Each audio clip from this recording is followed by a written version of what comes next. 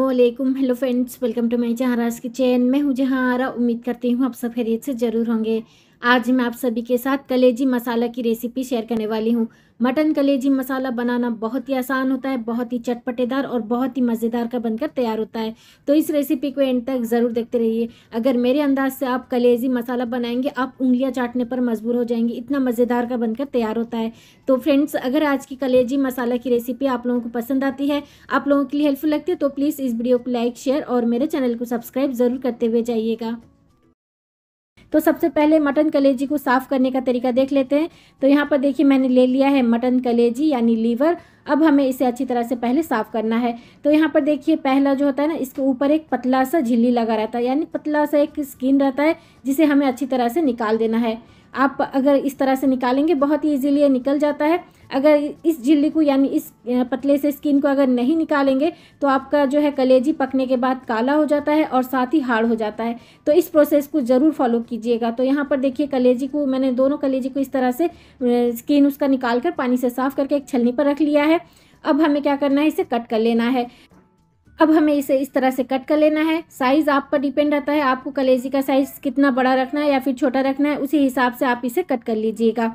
तो कट करने के बाद हमें और एक बार इसे पानी से अच्छी तरह से साफ़ कर लेना है, क्योंकि कलेजी जितना आप कट करेंगे, वो उतना ही उसका जो है ब्लड वो छोड़ता है तो उस हिसाब से आपको और एक बार अच्छी तरह से पानी से साफ़ कर लेना है। तो यहाँ पर देखिए, मैंने सभी कलेजी को कट कर लिया है। अब एक बोल पर निकाल देती हूँ।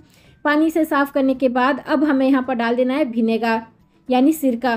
तो यहाँ पर मैं चार चम्मच सिरका डाल देती हूँ।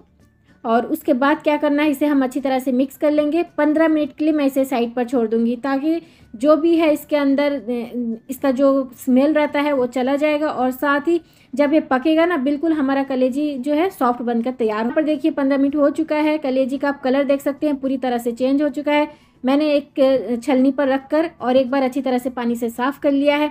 अब देखिए, कलेजी का कलर पूरी तरह से चेंज हो गया है। और इसे हम क्या है ना, इस कलेजी से अगर हम कोई भी रेसिपी बनाएँगे, ना तो काला पड़ेगा और ना ही वो हार्ड होगा। बहुत ही सॉफ्ट कलेजी बनकर तैयार होता है और इसमें कोई भी स्मेल नहीं रहता है।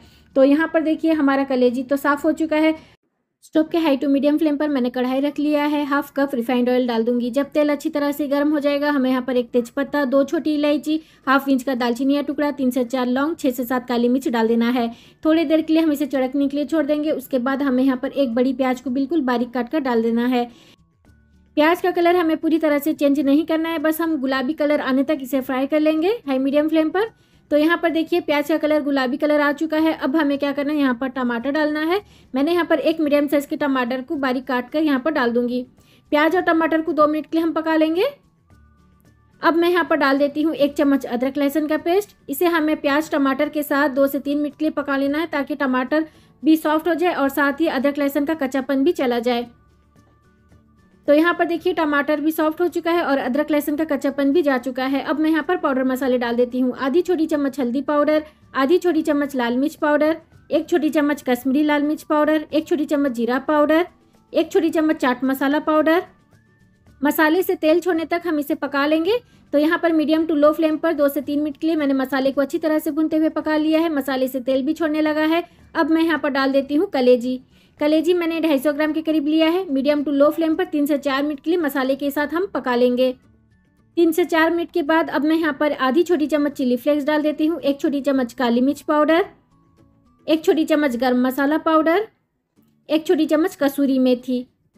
सबसे आखिर में आधी चम्मच हमें नमक डाल देना है। नमक आप अपने टेस्ट के मुताबिक लीजिएगा।